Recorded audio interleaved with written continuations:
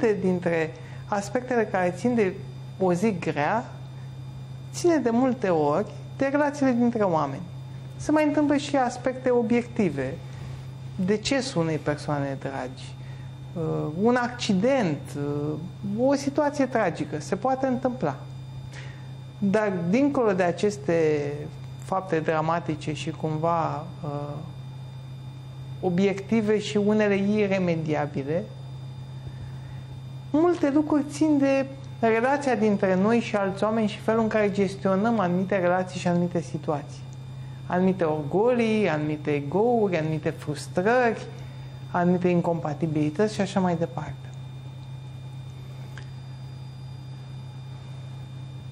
Există evenimente și evenimente așa cum bine ai spus. Sunt unele cu adevărat triste, dar tristețea e un lucru, suferința e altul. E cu totul altul. Este firesc să fim puțin triști sau mai mult triști când uh, cineva din familie, cineva apropiat, pleacă din această lume. Avem senzația că suferința trebuie să însoțească tristețea. Tristețea faptului că nu ne mai întâlnim, însă e diferită de suferință. Ce face diferența? Înțelegere. Înțelegerea adevărată a ceea ce se petrece. Dacă înțeleg cu adevărat ceea ce se petrece, nu înseamnă că se schimbă lucrurile. Lucrurile rămân la fel. Dar se schimbă percepția mea față de ceea ce se petrece chiar și într-o astfel de situație nedorită, dar lumească, umană. Și nu e nimeni care să nu se întâlnească în viață cu astfel de situații. Nu e nimeni. Nici noi n-am fost feriți. Nu vorbim din postura cuiva care nu a trecut prin astfel de evenimente, tocmai că am trecut. Și eu cel puțin m-am întrebat cum pot trece mai ușor, fără să sufăr. Și mi-am dat seama că suferința este totuși o opțiune pe care o facem în acel moment.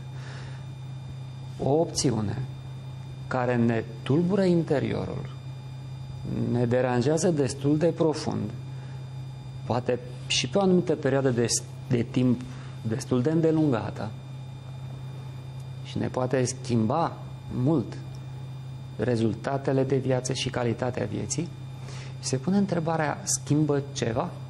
Chiar schimbă ceva? Dacă schimbă ceva, merită. Dacă nu schimbă nimic, e un efort cu costuri mari care ar putea înceta. Și e o decizie. E o opțiune pe care, chiar dacă pare că nu o avem în astfel de momente, o avem. Pentru aceasta trebuie să ne pregătim cunoscând, înțelegând viața. Nu așa cum am vrea noi să fie. Noi avem uneori astfel de cerințe și dorințe și aspirații destul de stranii de la viață. Să nu ne moară cineva apropiat, că am dat acest exemplu. Să nu plece din această viață cineva apropiat deși știm cu toții că vom pleca inclusiv noi. Toți cei care sunt în viață în acest moment și noi doi. Va sosi un moment când vom pleca. Este singura certitudine pe care o avem în această lume. Aspirația mea este să stăm cât mai mult și în condiții cât mai bune. Să avem încă zeci de ani de sănătate, de vitalitate de acum încolo. Și de Dar emisiune viața trăită conștient. Dar tot vom pleca. Cunoscând acest adevăr, acceptându-l și despre noi și despre ceilalți, nu doar cei dragi, și ceilalți. Și tot ce este viu, ne putem raporta dintr-o cu totul altă perspectivă și stare mentală la ceea ce se petrece.